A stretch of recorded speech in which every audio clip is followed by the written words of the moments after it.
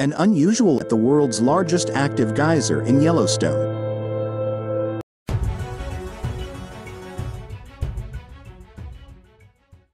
The world's largest active geyser has erupted three times in the past six weeks in Yellowstone National Park, including once this week, in an unusual pattern but in no way indicative of the more destructive volcanic eruptions occurring beneath Wyoming, geologists told Saturday.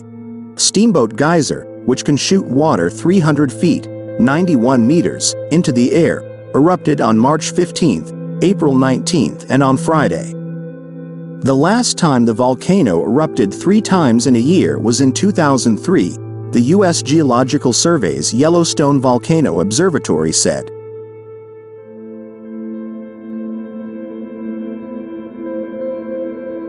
The last time it erupted before March was more than three years ago in September 2014. There is no indication that a volcanic eruption is imminent, Michael Poland, the scientist in charge at the observatory, said by email.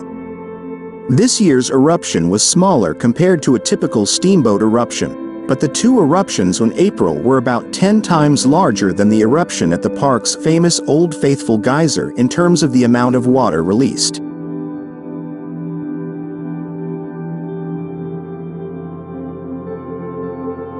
Geologists don't yet know exactly why the latest series of eruptions occurred, but they say it may indicate a thermal disturbance in the geyser basin, or that Steamboat may have had smaller eruptions rather than large ones. Because most geysers don't erupt spontaneously. Regularly, this may reflect randomly occurring geysers, Poland said.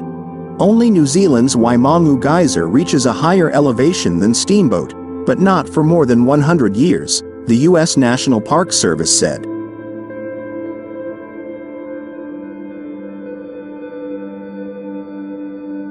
Yellowstone is located at the top of a volcano that created a vast crater. The plateau hosts the most diverse and extensive continental hydrothermal system in the world, including the colorful springs, mud pools, and geysers for which the park is famous. While the steamboat eruption is unusual, what is far more worrying is the drying up of the water in the hydrothermal system, which could indicate that superhot magma far below is making its way to the surface.